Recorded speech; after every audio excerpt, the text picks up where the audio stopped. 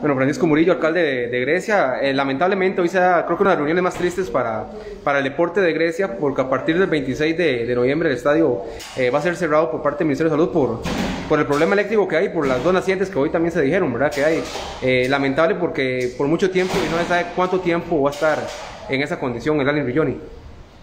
Sí, muy lamentable porque, bueno, hoy tuvimos una reunión. Ah, recuerde que la vez pasada logramos que el Ministerio de Salud nos extendiera el permiso por tres meses, pero hoy estamos atados porque eh, el MINAE nos tiene una medida y el Ministerio de Salud otra, de manera que el MINAE no quiere que toquemos absolutamente nada. Entonces, eh, el Ministerio de Salud nos pide que arreglemos la instalación eléctrica, las oficinas, el estadio.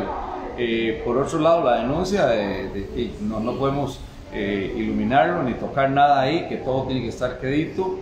Bueno, yo en esta reunión usted vio que hicimos hincapié en que se haga un estudio hidrogeológico para determinar el tubo de flujo del naciente y técnicamente poder decir que, que el estadio no, no contamina la naciente, el estadio no la contamina. Sí, porque entiende que hace muchos años y hay una gran cantidad de viviendas de hace tre- 40, 50 años ahí y que, y que por qué hasta ahora, ¿verdad? Esta situación. Bueno, esto se da exactamente, usted sabe por qué, ¿verdad? gracias a una denuncia por ahí. Entonces, eh, nosotros ahora tenemos que enfrentar esto, el Comité de Deportes y nosotros, y bueno, vamos a, a correr con ese estudio, al Comité de Deportes, con la, con la Junta Municipal Grecia, y están trabajando ya para que se haga el estudio hidrogeológico y den, den un... ¿Cuánto tiempo, Francisco, podría estar en esta situación el estadio? Para que salga ese estudio, porque eso tampoco es así de, de la noche a la mañana, ¿verdad? No, no, yo pienso que ese estudio va a salir en dos meses, mes y medio, dos meses, de... Tal vez febrero o marzo podríamos... Sí, pero sí, es lamentable. El estadio ey, pues está siendo bandeado por todo lado.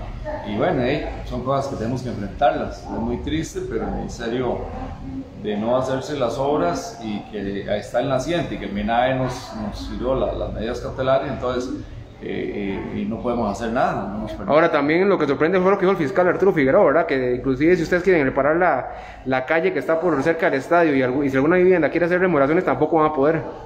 Sí, él lo dijo en tono de sí, recuerde que hay alrededor de 50 viviendas, hay una calle, hay, o sea, yo creo que esa naciente está impactada y, y nunca se ha utilizado para uso de consumo humano, realmente Sí, la problemática no solo ahora es del estadio, ahora es de los vecinos sí, también. para regar el estadio. Pero bueno, aquí el tema es con el estadio y, y le tocará al Comité de Deportes con el apoyo nuestro y también la Junta Directiva Municipal Grecia trabajar en ese Ahora, me comentaba también, Isaac, que el polideportivo, la parte de piscinas, también tiene eh, problemas con el permiso de funcionamiento por, también por el sistema eléctrico. Sí, el polideportivo tiene algún problemilla ahí y ya el comité está trabajando en eso. Nosotros vamos viento en popa con el trabajo de gimnasio, obviamente. Pero bueno, vamos a ver cómo salimos de esta problemática.